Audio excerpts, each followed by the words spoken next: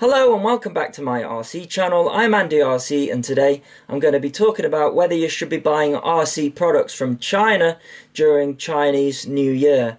Now I know there's going to be some people that say you shouldn't be buying RC products from China whatsoever and you should support your local hobby shop and I'll explain towards the end of the video how I ended up buying from China and not my local hobby shop because it's quite a long story. But what sparked this off was comments in my videos and also in other videos. I noticed people saying you shouldn't buy RC products from China through the whole month of February because the entire country shuts down for a month and that just isn't the case. It used to be the case that it would last 23 days, but now it lasts 15 days, but most companies just have a week off. So, for example, Banggood is having from the 2nd of February to the 9th of February off, so just a week. And GearBest is having from the 3rd of February to the 10th of February, and Hobby King, get this, isn't even shutting down. Now, you might think that the delay is caused by the shipping companies shutting down as well. But the shipping companies keep going because they are not necessarily based in China. If you think about it, if you are a shipping company, your boat doesn't have to dock in China. It could be going to Europe and it could be a European ship. Same with a plane, it could be a European cargo plane going to China and vice versa. So the delay that happens is caused by the orders that are made during that week when no one is at work and there's a bit of a backlog, but it's not really much of a backlog and there is a benefit to buying during this period if you are patient. I know we live in a world where no one can wait for things these days, but there are a lot of deals and offers that are put in place during this time so that they can entice people to still buy during this period. And I'm going to link those in the below because it's not just RC products either. There are home appliances and mobile phones, and you should see the amount of discount that some of those products are getting, and that also includes RC products as well. So it really does depend whether you want something quickly or whether you can't wait for it. Now, something that's interesting about Chinese New Year is that the majority of China don't call it Chinese New Year, they call it the Spring Festival. It depends where in China you are. So I think Hong Kong call it the Lunar Festival.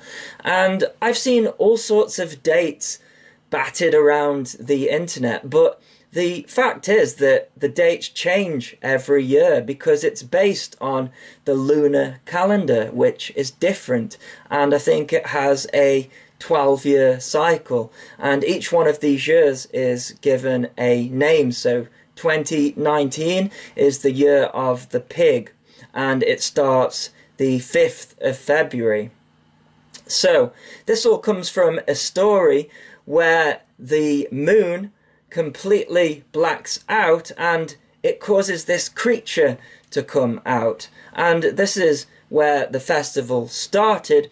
And you'll often find that people wear red and bang drums, and that originally was to scare this creature away.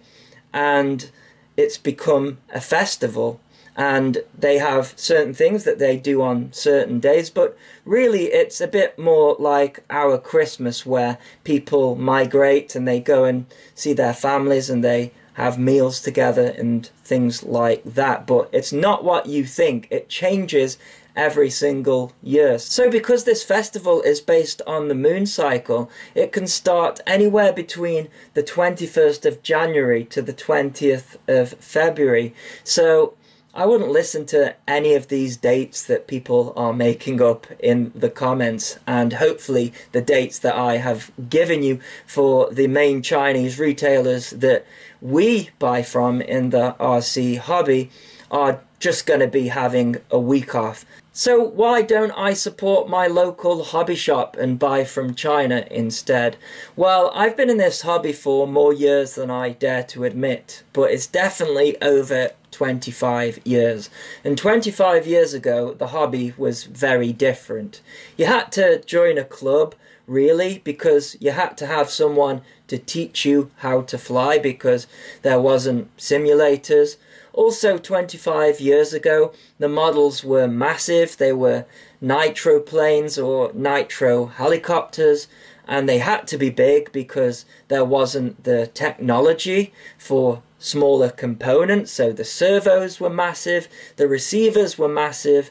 You had to have big NiCad batteries inside to power the receiver, and you'd have a big nitro engine at the front because lipos didn't exist and brushless motors didn't really exist either. And in my area, Mode 1 was the only mode that everybody used. I think Mode 2 became more popular with helicopters, and back then they weren't so popular. Of course, they became popular and even more popular, and we have quadcopters, and I think that's why the majority of quadcopter pilots fly Mode 2.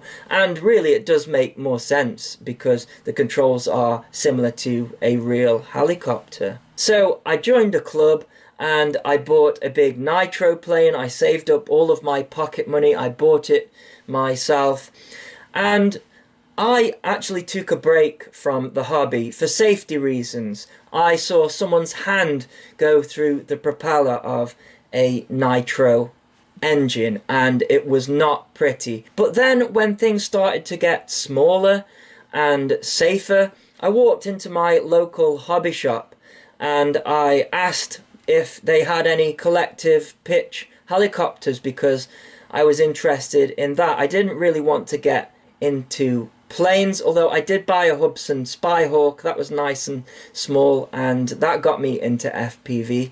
But I walked into my hobby store and said, Do you have any small micro collective pitch helicopters? Because I got a simulator and I had learned how to fly one. So I thought, well, I can buy one and then I can fly it. So I kept my transmitter, but I'd sold all of my old aeroplanes.